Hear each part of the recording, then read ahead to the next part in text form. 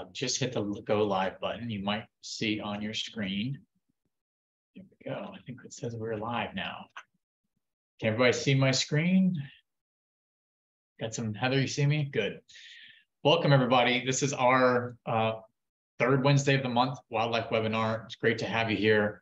Um, I don't want to have too long of introductions. Let some people trickle in here. It's great to see the interest. People love trees. They want to know what's happening with their trees, especially when they start seeing their trees die or go into decline. And, and it really worries a lot of people because trees live so long and they just make such a big change in the environment. So um, I'm excited uh, this week to have Heather Disque talking with us. But we'll start with a few housekeeping items uh, as people trickle in. We are, this webinar is being live streamed and it's also going to be recorded. That recording will be available on our YouTube channel. This is the handle for our YouTube channel. You can search that. It's MD for Maryland Wildlife Management all together. Um, I'll have a link at the very end where you can go and use your phone to, to log into that and subscribe so you can follow us in the future. Um, if you have any questions or comments, um, I'm monitoring the chat during the presentation. So I'll be collating and trying to answer what I can in the background and also just gathering your questions. I love to have like interactive stuff coming up. Heather, let me know if you'd like them kind of inserted questions. I can kind of pop up things or if you like, I'll try to monitor the chat for you, but if you'd like to handle things during the presentation, that's totally fine too. Uh, yeah, if uh, you want to, if you want to monitor and pop in, I'm happy great. to answer questions on the fly. Cool, great. So use that little chat button. That's what it looks like. That's your icon at the bottom. There's a little control panel in the middle of your Zoom screen. And you'll also get a brief survey at the end of when you log off. And please, please share your thoughts on that so we can help serve you better. Today, uh, again, excited to have Heather Harmon Disque present about forest health update. Uh, she is with the, she's a forest health entomologist with the Maryland Department of Agriculture and the Forest Pest Management Department. Um, so she's going to take share with us all the recent pests and disease. This is our annual. We we have Heather come back every year in the fall to present to us on this topic because it's always changing, and they're doing annual surveys, and she's going to give us a great update on the state of the forest health issues facing us today. Um, next month, just telegraph us up. Uh, put on your calendar for next. Uh, I think it's November fifteenth, if I'm correct. Yeah, it's on the top. It's on the screen. November fifteenth Bob Long, he is our upland game bird manager for the Maryland Department of Natural Resources. He's going to be talking about research they're doing on wild turkey populations uh, here in Maryland. He is running a big study. He's got staff. They're putting GPS collars on turkeys, finding out where they're going. Are they surviving? How are they dying? And all sorts of other stuff in between. So you'll learn a lot about uh, wild turkeys next month. I'm going to be out on vacation. I might be able to pop out and run the meeting. I hope to be able to do that. If I can't, I'm going to have a substitute in my place. So um, hopefully I'll be here for that. But just let you know, I might be, I'm on, I'm planning to be on annual leave, but I'll try to jump out and do this if I can. Okay, last slide um, before we get going with Heather. Um, take a moment. Uh, we're we're realizing, uh, I've realized really the important importance of uh, social media in this new age. I really didn't want to deal with it for a long time, but it's just a way, to, it's such a powerful tool to reach people. If you watch YouTube, uh, you can use this little uh, QR code in the top left, put your phone on camera mode and, and let it look at this QR code and it'll take you to our channel. You can hit subscribe right now. Uh, it helps to promote us, helps us to, to get good speakers, helps to let the speakers know that their content's getting out to the public and we can just reach an even wider audience. So I'm also on Twitter slash X um, I'm at Luke Rangewalker. I used to work in range management, so I had to play on Luke Skywalker. Um, one of my a friend of mine came up with that idea for a handle a long time ago, so I kept it. I like it gives people a chuckle. So uh, always posting different types of things happening in the natural resource world and wildlife conservation. Give me a follow. I'd love it. I'll follow you back, and um, uh, we'll continue to get educational content about wildlife management out that way. So with that, I will pull, and that uh, QR code on the bottom right is how will take you to my profile. So you can uh, see what you like. If you can scroll through my profile, if you like it, give me a follow. If not, uh, give me some thoughts on what you'd like to see more of. All right, I'm going to stop my share and let Heather take it away. All right. so let's get started. And by the way, Heather, we have 48 people on. This is just great. Thanks everybody for joining. Um, love to see the interest in this topic. All right. so hopefully everybody can see my title screen. Um, so I am the forest health entomologist. I am also the regional entomologist for forest pest management on the Eastern Shore. So here is our lovely Kent Narrows. um, you can see there's a forest. We were evaluating it for um, water damage. So um, that's kind of fun there. So let's go hop in. So the first topic we're going to talk about today is emerald ash borer. So just as a quick overview, um, let me see if I can get my, there's my pointer. Um, so here is the adult of emerald ash borer. Here are the galleries that they cause. We like to call these serpentine galleries or S-shaped galleries. You can see this uh, kind of shape through here.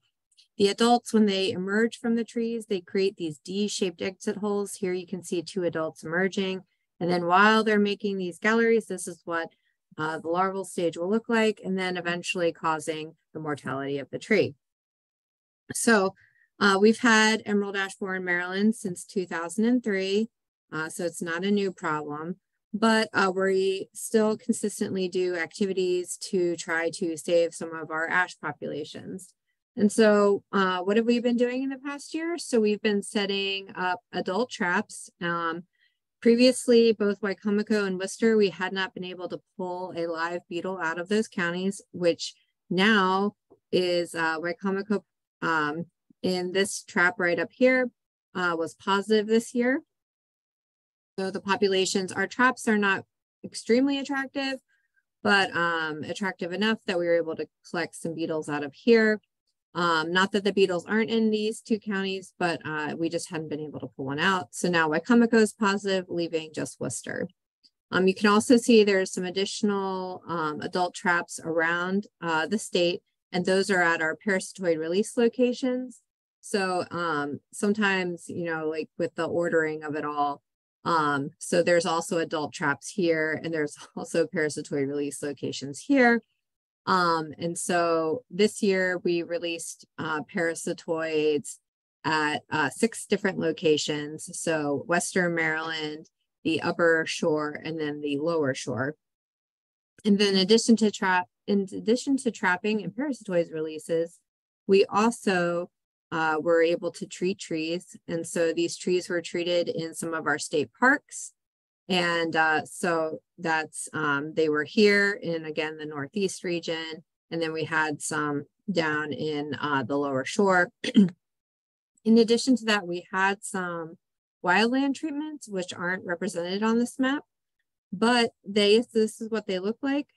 Um, so a lot of these wildland areas that we're treating are um, wet all year round. So you can see there's water laying here. A lot of times they'll start to flood.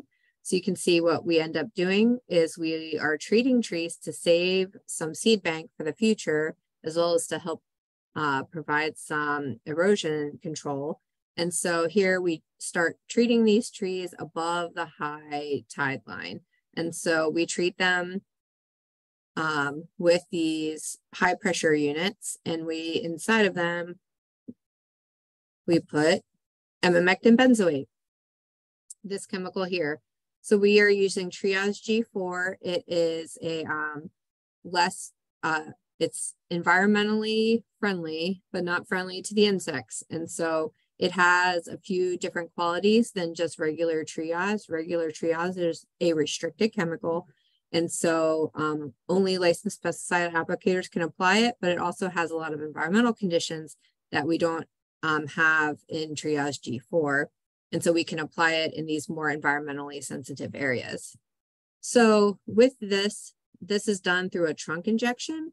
And so we use these F series tree IVs. So inside of here, this is a pressurized bottle that has the chemical in it, which then um, once these lines are put into trees, then we can open up the lines and then the chemical moves through the system and is injected into the tree and then moves up into the tree to protect it from emerald ash borer. And this is really important because of the way that emerald ash borer life cycle is, is that you need to get to the beetle when it's causing the damage to the um, tree's inner bark. And so that's why we have to kind of get those chemicals inside of there. That's why a trunk spray doesn't necessarily work and why it is more effective than a uh, traditional drenching um, because it is um, put in and it's all all the chemicals put in immediately into those um, tissues and it's not allowed to bind with the soil. So um, these treatments are done uh, when the trees are uptaking the majority of their water for the season. So in the spring, so we are typically treating April, May, June, and um, if it's not too hot, the first couple weeks in July. Um, you can see here, we actually did retreat this tree this past year. Um, this is a champion pumpkin ash um, in Caroline County. So it's kind of, um, it's, it, you can see the bases um, are together. So this is one tree. So it's pretty impressive. And then in addition to that, there are other chemicals, of course, that can treat um, EAB, and one of those is imidacloprid. So imidacloprid is a neonicotinoid um, that's used as a soil drench. And unfortunately, that product is no longer available to the general public. You do need a uh, licensed pesticide licensed pesticide applicator to be able to um, perform treatments with imidacloprid. Uh, imidacloprid treatments are typically good for one year, whereas the um, benzoate is good for three to five years, depending on your level of EAB. So from, we've got a couple of questions coming in already. Um, oh, okay. a little background on like, yeah, the trees that this, uh, the emerald ash borer kills and the sort of rate of survival and, and the impact and how important this is. And, and you just, I think you addressed one of the other questions that just came in. How often do you treat the trees? It sounds like once yeah. every was it three to five years? Go ahead. Yeah so we re- we retreat trees once every three years um just we stay on top of it and we keep the majority of our crown. Um once populations start to die back and um, go to really low levels we might be able to expand it to that five years but for us we are on a three year cycle for all of our tree tree treatments. And then why this so emerald ash borer um, it's in the name is ash. So it attacks all fraxinus species. There's a range of um, ash susceptibility, but basically all of the ash inside of Maryland is extremely susceptible to emerald ash borer. Um, it can also attack white fringe tree. And so the thing with white fringe tree is it seems to have a better ability to to heal the wounds over top of the larvae to be able to stop the larvae from developing completely.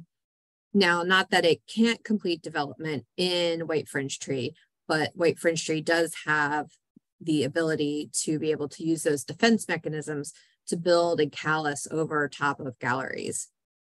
So, but our ash species do not have that ability. And so uh, what we do with um, our state lands is number one, we have uh, developed a treatment program for ash inside of our parks that are either um, in, endangered or um, rare species.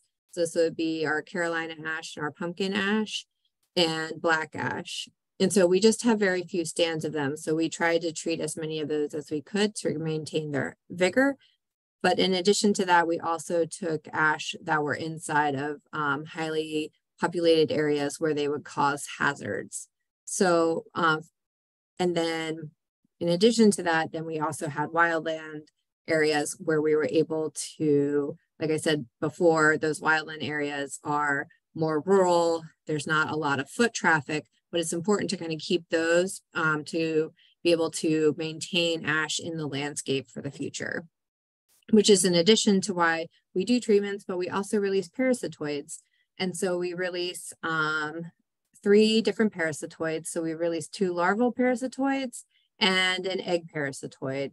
And I think we go next. Yep. So I have, um, here's one of our larval parasitoids here. And so we have been able to release um, parasitoids across the across the state. And so the idea is is that um, ash is going to be gone from our landscape in the scale that it that it has been in the past. But what we could do for the future is to try to maintain a seed bank and then maintain these um, important species, such as our um, rare species, to try to keep them there in the environment for the future. And then once we get to a point, so, you know, with all pests, the population grows and then it crashes once it consumes all of the host species. So in this case, the ash. So when the ash go down to that 95, 99% mortality rate, then the EAB has eaten through their food. And so now then we have these parasitoids that while they're doing par their parasitoid thing where they're parasitizing EAB larvae or eggs, um, then they can then colonize what population is left and hopefully control that so that then our ash can regenerate and grow for the future. So that's kind of our hope is that in the future, we won't have to treat as much um, because then these parasitoids are going to be in the environment and helping to move around. And um, we do this work, the parasitoid work, in conjunction with the University of Maryland. And so here you can see there's a whole bunch of um, people here that have been a part of this parasitoid release program. So of course, my group, Forest Pest Management, Plant Protection, also in MDA, as well as the University of Maryland Entomology Department and the Beltsville um, Invasive Insects Lab, or not Beltsville, excuse me, um, the Beneficial Insects Lab from the USDA ARS in Newark, Delaware. And so um, we release parasitoids and then they do a lot of the follow-up work to see what parasitoids are establishing. And I don't have their research um, to present to you, but I will say that they are establishing, we are able to find these parasitoids again in, um, in these areas where we have released and in areas where we have not released uh, within five uh, miles. And then there's even been one report of parasitoids found nine kilometers away from a release site after one year. So that's uh, pretty far for, you can see this really tiny wasp. I mean, this is a number that somebody wrote. It's not big, it's just a regular number. And so these parasitoids are very tiny. So for them to move those nine kilometers is pretty impressive. Um, and then in addition to that, I just have our map here showing that yes, Worcester County, we still have not pulled a uh, live EAB from, but we're kind of hoping to be able to do that this winter. All right, moving forward. So out of EAB land, so uh, Emerald Ash Borer is a uh, non-native to something that is native, the southern pine beetle. And so southern pine beetle tends to have these cyclical moves throughout um, the area. And so for us, the majority of these cycles have been found in the lower eastern shore, so in Dorchester and Worcester counties. Um, if you remember, um, in 2014 through 2017, we had a significant mortality event in Dorchester in lower Dorchester County, as well as along the Assateague Island, uh, nat, nat, excuse me, natural areas. And so those probably saw a combined of over uh, 600 acres of uh, mortality of um, pines. So what southern pine beetle does is um, they create these galleries. So again, these are also a bit serpentine. So you can see these here. And then offshoots of the galleries are these um, egg laying areas where they'll lay an egg. So here's what the egg looks like. And then through the larval stages into the pupa and then the adult. So here is an adult southern pine beetle. Here's a grain of rice. And then here is another Dendroctonus species, another um, bark boring beetle, but this one is called black turpentine beetle. And so actually this one is also native and is usually typically found in the lower portion of the tree. So uh, maybe from the base of the tree to three and a half, four feet. And then southern pine beetle is typically found in the mid bole and higher in the tree. Um, so that's typically where we find these. And um, what happens is that southern pine beetle has a really great pheromone that they can call other beetles to. And so we call it an aggregation pheromone. And when a southern pine beetle finds its golden corral, delicious, full buffet survey tree, it'll call its other beetles to it using that pheromone. And so then a lot of times what we find then is this popcorn looking um, stuff coming from the trees. So this is the tree's defense mechanism trying to push those beetles out quickly. And then um, unfortunately, when they're when the beetles are calling the other beetles using their aggregation pheromones, typically it's like a death of a thousand cuts. You know, the tree is trying to push them out. It's typically already weakened. Southern pine beetle loves trees that are already weakened. They kind of get that. They also can clue in to the volatiles from the tree that the tree is putting out there, saying that it's it's not doing well, it's unhealthy. And so um, they'll kind of all come to this one area attack and then typically they can only kill weakened trees. Unfortunately once the populations really start increasing to a really high level then they can take out healthy trees. And so one of the other things that they bring into the equation is this fungus this blue stain fungus. And that also decreases um, you know tree the tree's ability to uptake water and nutrients. Um, one bright spot is while we trap all those trapping locations you saw, we also trap for this predatory clerid beetle. So this beetle actually goes out and consumes southern pine beetle. So you can see here is a uh, clerid with a prey. And so this is what the immature stage looks like, and this is what the adult beetle looks like. So we're looking for both southern pine beetle and these clerid beetles in um, our trapping that you saw the sites. And so we haven't seen this. This is actually a picture from that mortality event in Dorchester County. So these trees were um, on the right-hand side, the right-hand picture, these trees were weakened due to a storm event. And then the beetles were able to jump across the road and hit these healthy trees over here. So these trees were uh, healthy at the time and uh, they were killed due to that aggregation pheromone. Um, so the good news is um, is that there is some treatments available. It's not necessarily a chemical treatment, but we can't you can do a salvage cut to stop that the wave of the beetles moving through.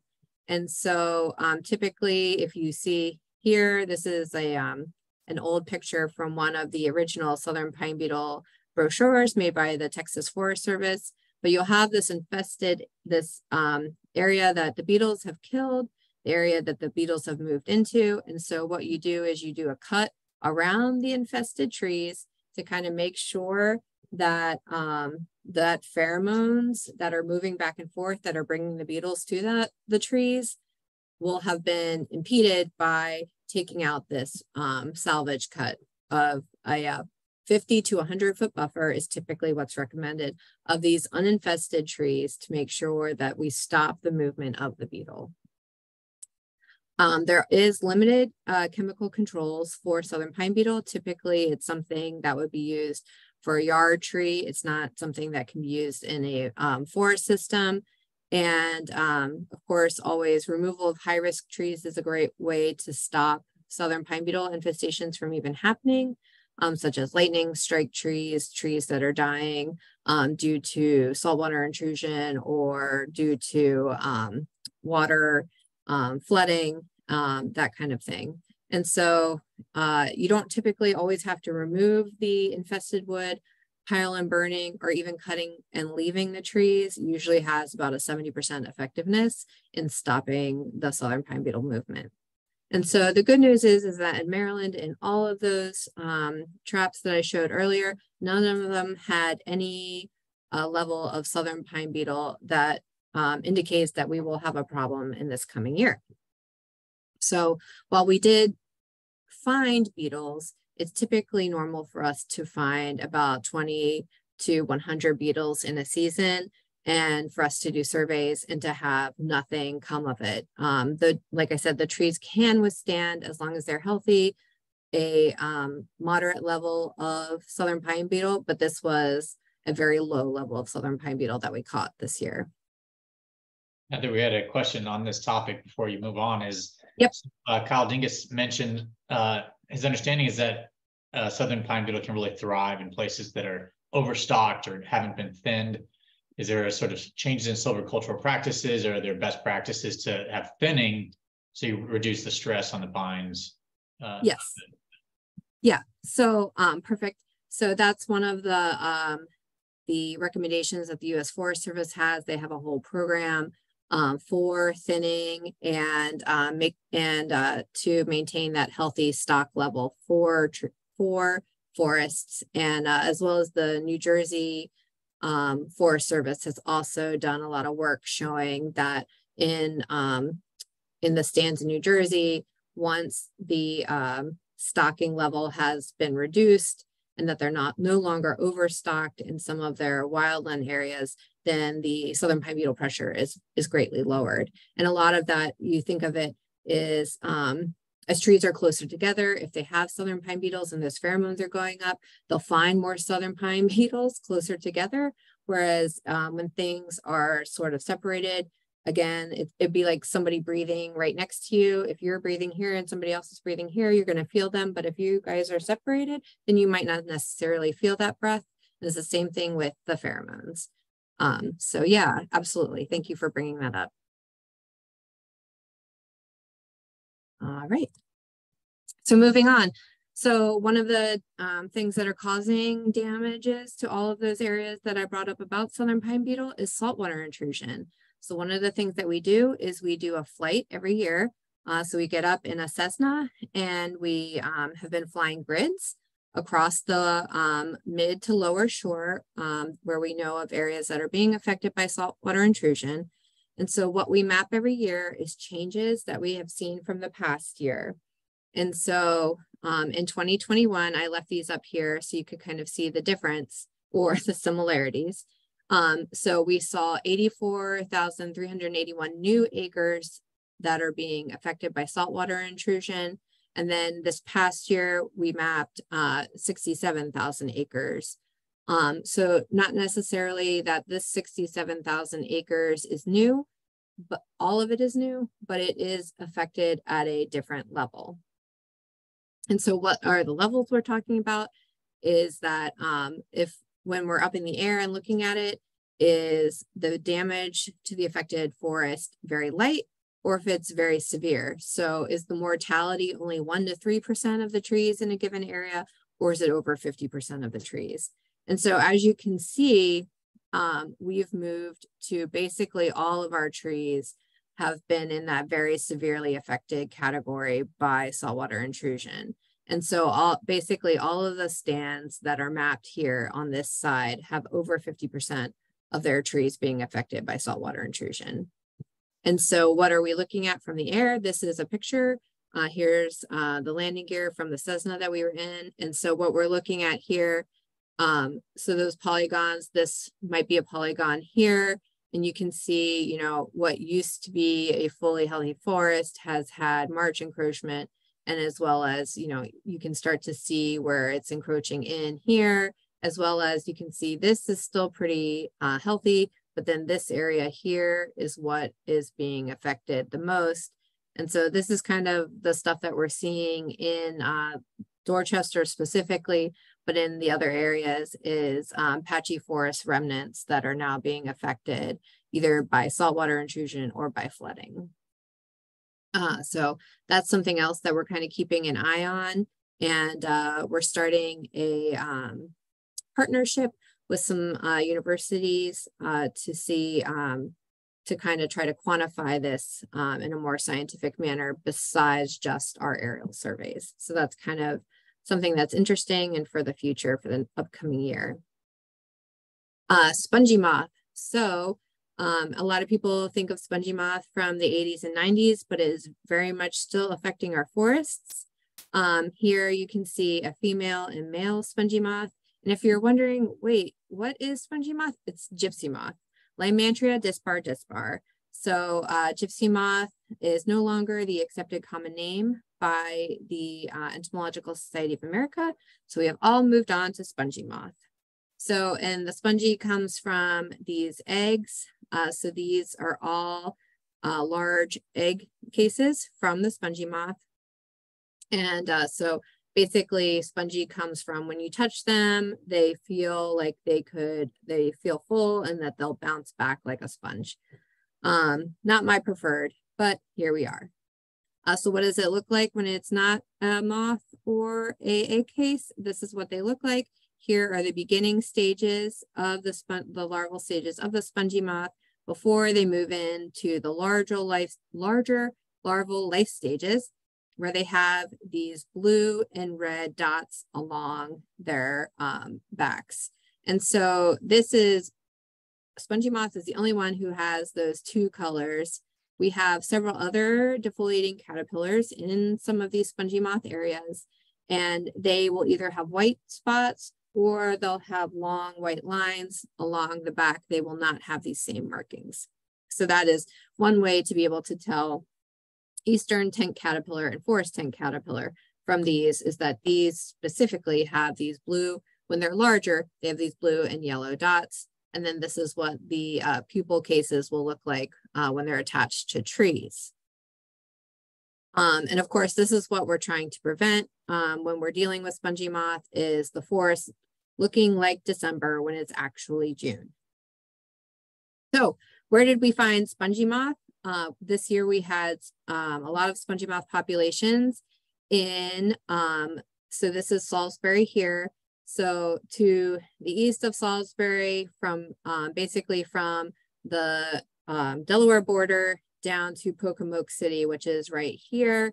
So it's Delaware to Virginia to the east of Salisbury. And so you can see there, so this year we had 6,418 acres and 48 uh, treatment blocks that qualified for suppression.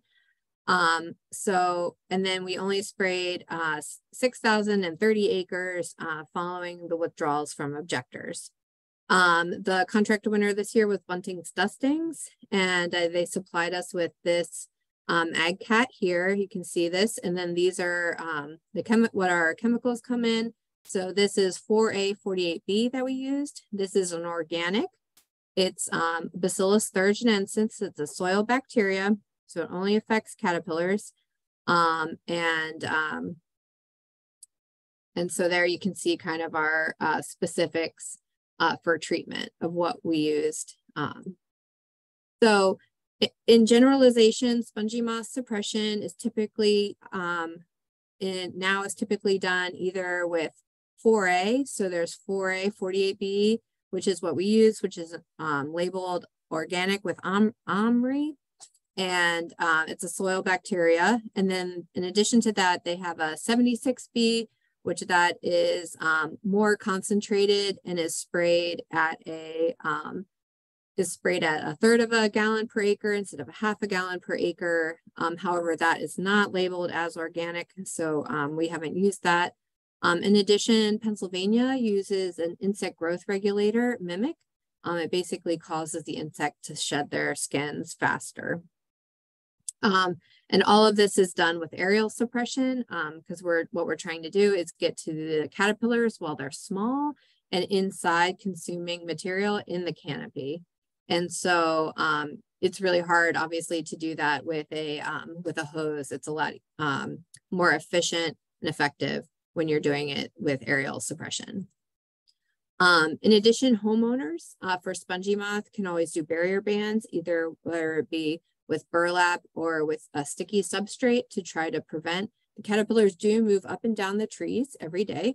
And so they'll prevent that movement and kind of stop them where they are. Um, so what does it look like for this year? So unfortunately, it doesn't look great. Um, so this year, um, this is a tree, a picture of a tree that was taken a month and a half ago in Allegany County. And so you can see there's one, two, three, four, five, six uh, female moths laying egg masses, and you can see more egg masses to uh, the north of the tree where the um, uh, the females are. Um, in addition to that, uh, this year we saw uh, defoliation again in these areas from um, to the east of Salisbury from um, Delaware down to Virginia. Um, the good news is, is that only uh, 756 acres of that defoliation that we mapped was inside of treatment blocks. And so uh, the majority of our treatments worked and worked very well. In addition to that, we also saw um, the spongy moth fungus and the NPV virus, which I'll show you next, um, was found in a lot of these areas on the Eastern Shore. And so the good news with that is, is that um, that mortality with the mortality from our uh, spongy moth suppression hopefully has decreased the number of egg masses for this coming year. Um, however, so that's the good news. The bad news is, that egg masses obviously have significantly increased in Western Maryland. And currently we're looking at an over 10,000 acre program inside of uh, Washington, Western Washington, Allegany, and Garrett counties. Um, and this, of course, goes with um, in the summer, we did male moth traps and uh, in our male moth traps, trying to predict the populations for spongy moth, all of our male moth traps saw an increase of population catches by up to 50%. So um, we're expecting a larger suppression program this year. Um, certainly less on the Eastern Shore, but more on uh, more out in Western Maryland. Um, in addition to that, I will say that um, there's a couple of hot spots. Um, some of those are in Harford and uh, southern Baltimore counties, in addition to Frederick County. Um, so those are kind of our hotspot areas for spongy moth. Now, the native spongy moth fungus, Entomophaga maimaiga, um, that is a fungus that's in our environment. It's in the soil. When the caterpillars move down the trees, they'll come in contact with the soil. They'll pick up fungal spores. Those fungal spores will then go from inactive to active form and then basically they consume the caterpillar from the inside out. And so then what happens is, is that they will die and then they'll come up to these sort of, um, they'll attach themselves to the tree and basically they'll just be a, a desiccated husk there. And so then the spores then are released from the body where they can come in contact with other caterpillars that are now moving up and down the tree, as well as then fall to the soil, be in the soil for the next year. And then in addition to that, something else we saw this year was a nucleopolyhedrus virus or NPV for everybody who doesn't want to have that mouthful. So it sort of does the same thing. Um, so the caterpillars will still consume leaf material to become larger and later life stages. However, when they die, they do um, die again on the tree and then they'll um, go into this inverted V form. So while the fungus and the virus are great, um, unfortunately, they do not stop defoliation in this, this year. However, they do stop populations from turning into moths to have them populations for the next year. So they're great at controlling things. Um, typically, the fungus is something that can control caterpillars when they're in a small amount, a small number. However, once the populations really start to explode, then the NPV virus will take a couple of seasons uh, for it to kind of expand within a population. But then usually the third or fourth year, then they'll be, it'll be able to help control populations. So I, do we have a question? Yeah, I've got some a couple of questions. Do you guys do any control on private lands? Uh, so we do do control for spongy moth on private lands. It needs to fit into our uh, spongy moth suppression program. So there's a couple of characteristics for that. So you need to be at least 25 acres, have um, at least 50% oaks or um, trees that are extremely susceptible to spongy moth. Um, and so there's some characterization of the forest as well as you have to have a pretty dense canopy uh, we can't just have single trees here and there because of the way that we uh, spray our chemicals. If there's not a, a, a full canopy, then uh, the amount of spray that we're using isn't going to be able to control populations without that canopy to be able to keep it there and not fall to the ground. And so um, certainly if you're not in our suppression program currently, um, you can definitely reach out to me. My contact information is at the end, and I'll put you in contact with your regional office. Uh, the regional offices are the ones who help uh, make those determinations for if they fit into the categories of our program. Cool. And there was another follow-up on, on cold temperatures and how long it has to be cold for, to kill the eggs. How long? Uh, so, um, so Canada has problems with spongy moth. So it, it's just not that cold here, uh, to be able to take out those, um, those populations. I honestly don't have a specific temperature for you. Um, but yeah, if it's not helping, if the cold isn't helping Canada, it's certainly not going to help us. So, um, I can, you know, I can get you better information, but that's my, um, my non-exact number. Thank you. Yep. All right. And so in addition to that, we don't only just look for European spongy moth, the Lymantria dispar dispar, we also look for Lymantria dispar asiatica, and Lyman, uh, and so we do sample for eight exotic Lymantria and Dendrolimus species. So these are larger moths um, that can come from the Far East and um, that have the ability to move with um, transport. And so the main thing that we're concerned about in Maryland, of course, is our Chesapeake Bay corridor. Um, so there have been um, Asian spongy moth, as well as rosy moth egg masses that have come into the port of Baltimore. And so these egg masses were viable. They have they had live um, eggs on them. And so typically what happens is you um, the USDA, APHIS will come through and have a cleansing order, or they'll, if they are unable to cleanse the clean, cleanse and clean the ship, then they'll send the whole shipment back out. However, as most of you know, there's a lot of time that these ships um, hang out in the bay, as well as um, if you remember just last year, we had the um, ever forward not go forward and be stuck in the bay for several months. Um, and so that definitely had a chance for those populations to move off the ship if they if they happen to be there, which I do not. I'm not saying that they were there. I'm just saying that it was a great opportunity. And so we do these uh, exotic Asian defoliator moths um, surveys. And so in that this past year, we're just finishing up for this year, but in the past year, we sent off 327 adult spongy moths for analysis. And of those, 321 were returned as our Lymantria dispar dispar, our European gypsy moth, and then the rest, um, the rest, the other six moths uh, were unable to be diagnosed due to test failure. Um, so that's pretty typical. Uh, so, so far, um, we have caught more uh, moths inside of our Asian. Um, it would so anyway, sorry, nomenclature is still the same. So it's still Asian gypsy moth for the Asian species, but um, so AGM suspects have been caught and then they've been forwarded for analysis and we don't have the analysis back yet. Um, in addition to that, we did see a small outbreak of cankerworms in Garrett County. So that um, those cankerworms defoliated about 102 acres um, this spring. And then in addition to that, um, other um, other events that happened this spring was a late heavy frost and snow event, and that caused um, damage.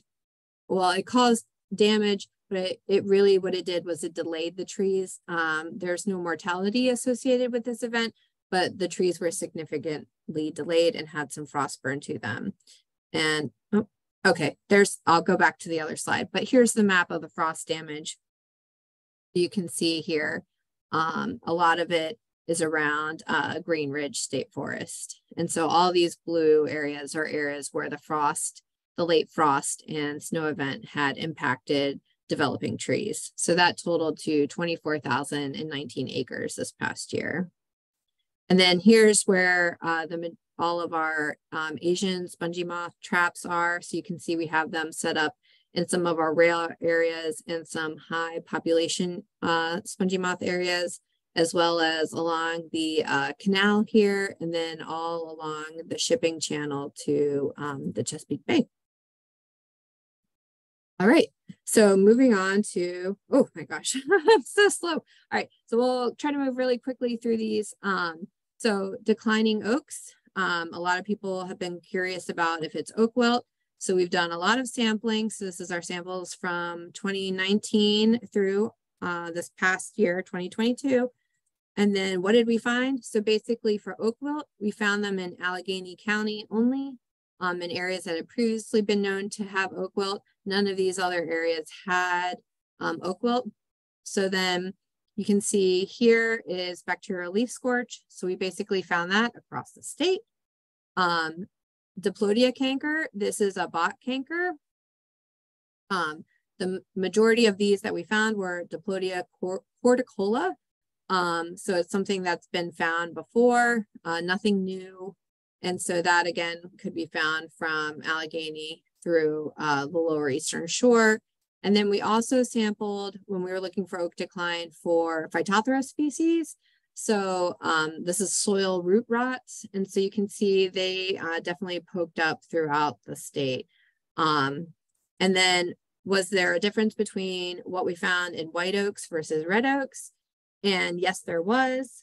Um, you can see the majority of the bacterial leaf scorch we found was found in uh, red oaks. And so, um, and then basically, um, and the same thing with oak wilt, we only found oak wilt in red oaks. And again, red oaks are more susceptible to oak wilt, so that's not terribly surprising.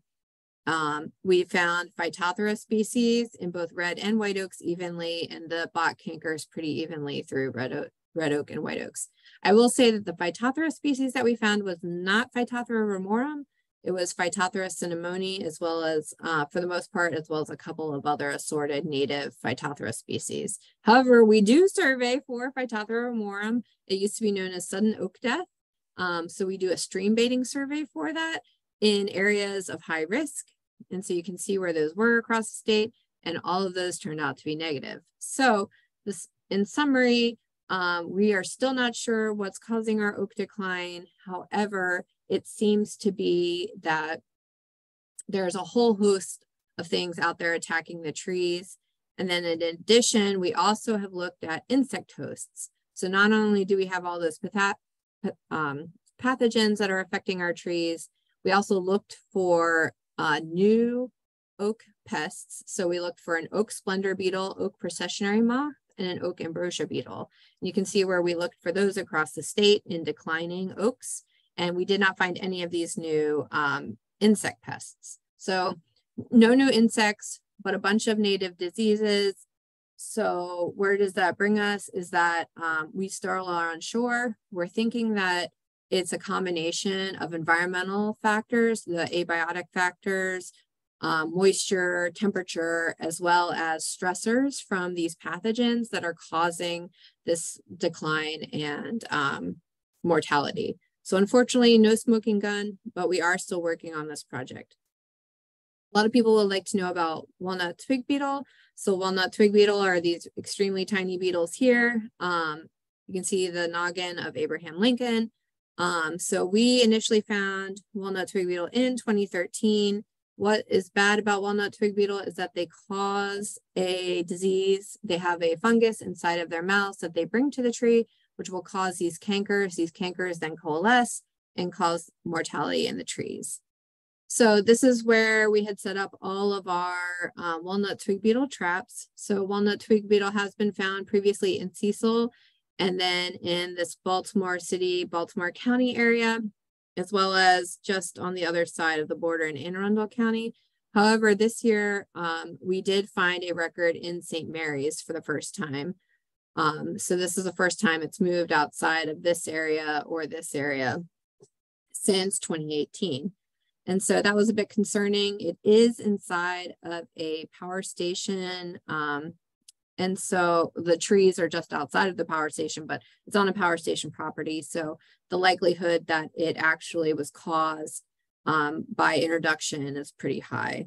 Um, so currently we just finished our walnut health surveys and currently all of the trees that even have, um, so the only place that we've seen the fungus um, consistently is in Cecil County and all of those trees look extremely healthy.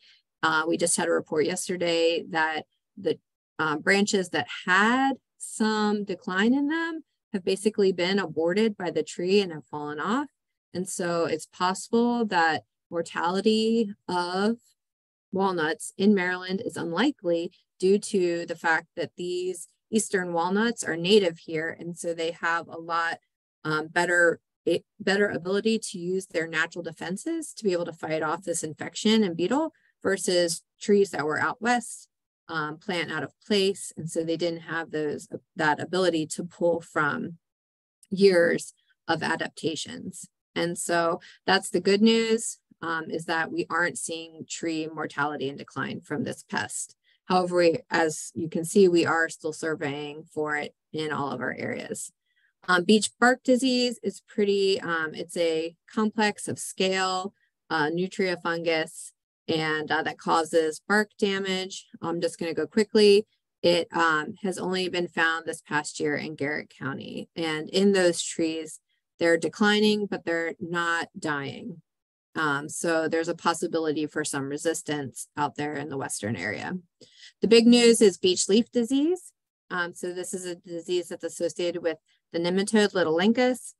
Um, it causes these the stripes, this discoloration inside of um, the leaf margins. And so it also um, can cause aborted buds. Um, typically, the young trees have been dying within a year or two of their first infection, where mature trees have been able to live with this nematode for six to 10 years. There's no uh, current approved uh, treatment for beech leaf disease.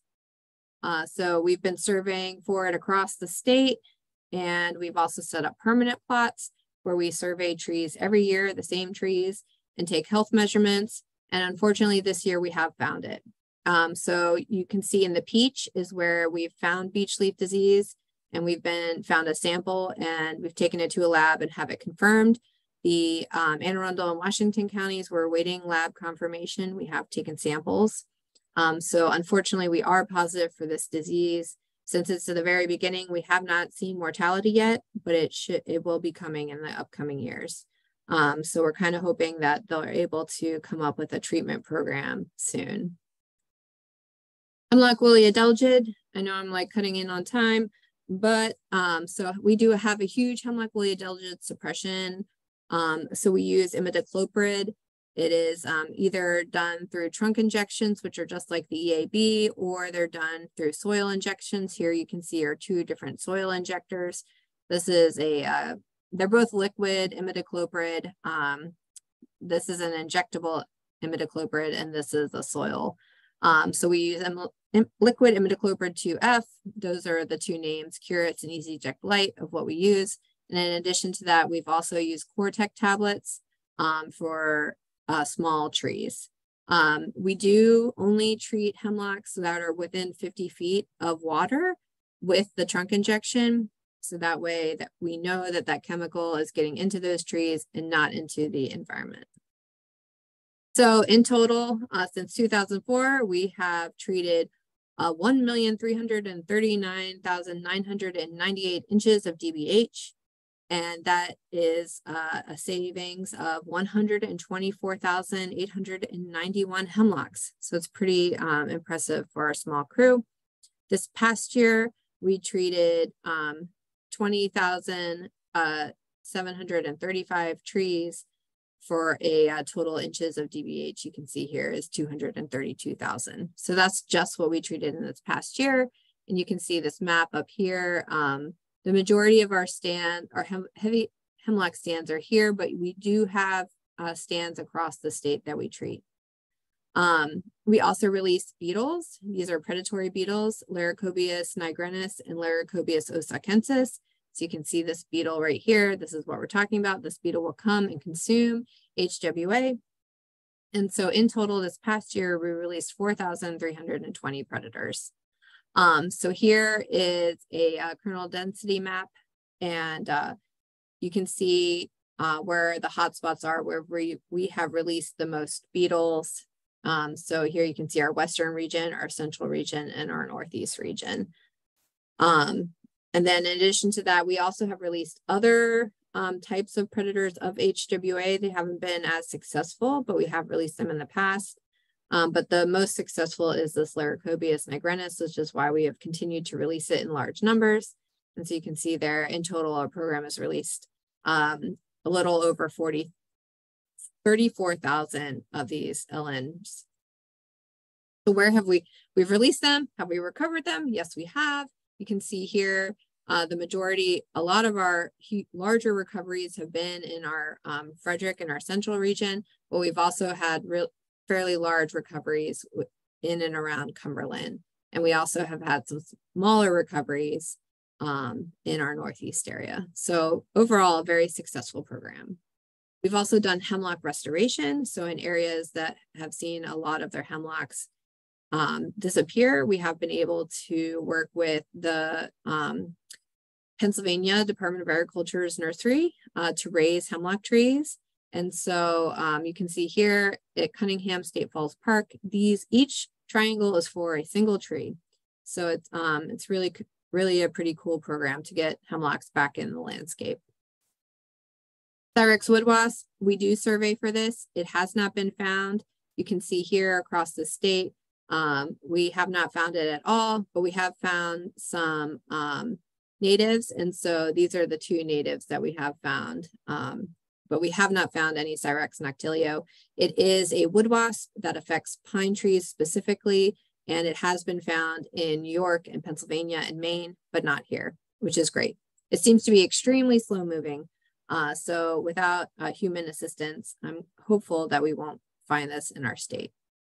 In addition, we also have been looking for red bay ambrosia beetle. This is a beetle that brings with it the laurel wilt fungus. So it attacks sassafras, um, bay laurels, red bays, um, and uh, has caused mortality in a lot of the South. Uh, however, we have not seen that here, which is great. Um, and then finally, um, some additional pests we do track for uh, beech bark disease, forest tent caterpillar, eastern tent caterpillar. Those we look for, like I said, inside of our defoliation areas. Uh, we also do a ton of other small hosts. Um, so you can see in Washington County, we had some walking stick um, infestation in Allegany this past year. We had cherry scallop shell moth, basically anything that's affecting forests we're trying to map. And then finally, Dorchester County, we saw a hail event uh, in 2022. So that affected some acreage as well as um, here's our saltwater intrusion. And then one of the other things is elongate hemlock scale. And so, of course, we've seen that um, kind of across our upper tier of counties. So if you're ever stuck in the mud, like I have been, um, we're definitely here to help and assist when we can. Um, we are only 10 employees across the state, so sometimes it does take us some time, but here is my um, email and phone number, and I'm happy to assist. Thank you, Heather. Yep. I learned a lot about entomology on that session and um, was popping in like links to some of these species as you were as you were going through. So to help other people, we're getting some comments coming in. We have a few uh, questions that I didn't put out yet. Um, I'm going to try to, uh, everybody, uh, uh, feel free to add questions into the chat. I'm going to try and run through a few of them right now. Um, uh, so when you were talking about the ash borer, uh, somebody, Brenda Beal, uh, great volunteer in our Delmarva Woodland Stewards program. She's just an awesome person. She uh, asked, you know, is this is this our chest our ash trees going the way of the chestnut? Are they is this a sustainable thing? Are they really just kind of like on life support at this point? And um, could you describe sort of the long-term thoughts about what's happening with ash trees? They're all dead in my back area. There, there are none left. So I'm curious, to, are they, are we looking at functional extinction here? Yeah. So, um, yeah, I pretty much, I think, you know, with with the work that a lot of us scientists are doing, we're also looking for a lingering ash. So there do seem to be ash that are inside of our susceptible varieties that have been able to kind of go the way of the um, white fringe tree and have some adaptations. And so currently um, there's researchers with AR with USDA um, Agricultural Research Service that have been able to identify um, the ability of these trees to be able to resist EAB. And so um, they're trialing those now. But, you know, for us here, certainly we're going to see, you know, 99% of our ash um, that haven't been treated to um, perish from this beetle. And so the ways to bring it back are, um, or and to keep it here, or to keep the seed bank through treatments um, until we have enough parasitoids that have built up within the population to be able to control those beetles. Um, I do not expect us to get to where we to get to the you know square footage that we have seen in the past, but it certainly can be in our landscape in a much smaller quantity. Yeah, I did see some early research on that. That's at least some some hope out there. Um, uh, David Peterson asked um, you, I, I remember learning, uh, looking into the various things that could be causing oak declines, and it's like oaks have so many things that go after them. Uh, I remember just being like, wow, there's a presentation with like 15 different insects that attack oaks. Um, but he, so I, am sure this is going to be a very hard question to answer. But David asks, what's the sort of level of risk by the various does it various pests you mentioned in your presentation? I think you had some some bar charts on the red oaks and the white oaks. So those does correspond to the level of kind of risk that you feel, or are there some other like hot ones that you think people should be aware of? Yeah, so I think um, so for level of risk, I feel like for the red oaks is uh, bacterial leaf scorch is seems to be um, the the one that we find more often than not, and then um, it seemed we thought that the diplodia or the bot cankers were going to be a bigger problem because there was a new diplodia that was discovered in some of our samples. Um, however, it hasn't shown up again since. And uh, so it was found, Diplodia querciferus was found and described in 2018, and we haven't been able to find it in our samples since then. Um, so that I think is, I feel like has kind of like come back. Again, all of these things were characterized as secondary pests, something that, you know, could harm or be around when there's something else already affecting the trees. And so I don't think we've really been able to quantify in this kind of new world how much those are going to actually affect our trees when before they weren't affecting them as much or tree or these trees were healthy and able to withstand these infections. Um, or you know even beetle presence certainly there's a, a lot of um, different types of Agrilus that could affect or um, or um, you know flat-headed round-headed borers that attack oaks and um, that the trees could easily withstand kind of like what i was talking with southern pine beetle but it just seems like now they're not able to and so i don't really think we have a good handle on or even if there's any research currently on those old secondary pests, if they're going to be causing larger future issues. And so, um, unfortunately, I don't think I really have a good like number system for you for that. Um, just that what we are seeing, which is that these secondary pests are affecting the trees or um, that they're um, in trees that are in major decline, we're able to find them. But in addition to that, I will say Armillaria root rot seems to be um, causing a lot of problems. And that's one that we haven't really been doing a lot of survey for because it seems to be in a lot of our um, declining trees. And so definitely Missouri has seen a lot of it. And so it could that could be another one I think that I didn't mention that could also be affecting our forests. Right. Um, Thanks. Yeah, I've actually noticed like sometimes just minor damage to the bark, and I I was I was looking up the dip, diploidia or the yeah diploidia. Mm-hmm. Uh, it seems like also just like it can maybe be living on the bark harmlessly for a long time, but if there's a damage or some sort of scar, it can infiltrate into it, cause trouble. And I've seen that with a, a neighbor had a a gash in the base of a tree from some construction equipment. wasn't didn't seem that bad, right? But that whole tree yeah. is a nice big majestic oak. So be careful to bark on your oaks. You know, if if you're doing any construction work or anything else, like those wounds can lead to uh, things getting into them. So uh, great. Uh, let me see. I we had one question about Asian longhorn beetles. Are those around here? So no, we don't have those. Isn't that great? Um, so Asian longhorn beetle is a um, is a, is an Asian um, it's a beetle of Asian uh, descent, and um, it's currently in um, South Carolina in uh, breeding populations, and it has been found in uh, Massachusetts, Ohio, um, and so in New York. And so New York has been declared eradicated. And so the good news is, is with Asian longhorn beetle, as long as you can get into a population when it's still initially um, establishing, uh, eradication works very well.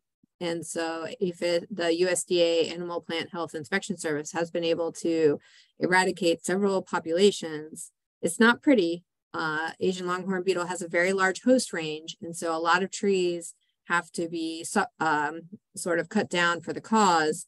However, they are able to get those populations um, extinguished with removals and trapping. And so um, we are going to be surveying for Asian longhorn beetle in the next year in 2024. We've just started um, the process for uh, for looking at those. Trapping is not great, and so we won't be doing trapping. We'll do, be doing visual surveys.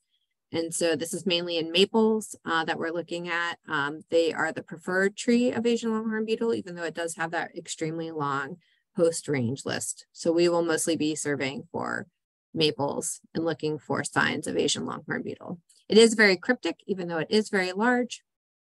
Um, they typically are in the upper parts of the trees first. Um, but like I said, the good news is, is that we don't have it. Um, and that um, if we ever find it in the future, I am really hopeful for its eventual eradication. Cool. Uh, there was another final question. If anybody has anything else, please top, pop it in. Last couple, last call here. And thank you, Heather, for staying on a little bit long and mm-hmm. for who are staying on past the one o'clock hour. Um, but we did have somebody ask, oh, how many parasitoids are are you releasing? Are they self-sustaining populations, or is this the kind of thing we'll have to continually uh, put out new parasitoids? Um, so currently we're releasing um, about 800 of the egg parasitoid, the oobius, per site. Um, so you saw we had um, six sites for oobius this year. And so, you know, six times 800, that's how many of the egg parasitoid released. And then as far as the larval parasitoids, right now we only have one site approved for those. And so that's um, about 5,000 um, parasitoids released this year. And so the we do releases for two years of these, um, same amounts of numbers each time. And um, basically they are, they do seem to be self-sustaining at this point. Um, we, those um, recoveries that I talked about um, have been continuing on. And so a lot of those are being done in places where we haven't currently been releasing. So we're not catching what we've released, we're catching what's been there from previous years. Um, so yeah, so it's not, um, they are self-sustaining. Um, where we go from from here um, as how far out um, is really up to the researchers. All right. And I know there is a long process for uh, reintroducing those parasitoids and like making sure that they don't cause more problems. So if anybody's here listening thinking, well, might we cause more problems by bringing in natural predators? There's a long process of, of testing to make sure that they're not going to cause additional problems, right? Yep. Yeah, there's a whole federal process for that. And if you're ever interested, there's um, a couple hundred pages worth of um, finding of no significant impacts. That was part of an environmental assessment done for each parasitoid. Um, so if you're ever interested, all you have to do is Google um, FONSI or EA, which is, stands for Environmental Assessment of um, Emerald Ash Borer Parasitoids, and you will find it on Google. I bet. I bet. Well, Heather, thank you. That's all. We got a lot of thank yous coming in. Um, it was a great audience. Thank you, everybody, for coming. I hope you learned something. Um, look forward to seeing you next month, where Bob Long is going to be talking about wild turkeys. We'll be moving back to the vertebrates and game species. So um, we've got some applauses. Thank you, Justin. Thank you, everybody, for coming. Uh, we will see you all next month. Thank you, Heather. Yep. Thank you.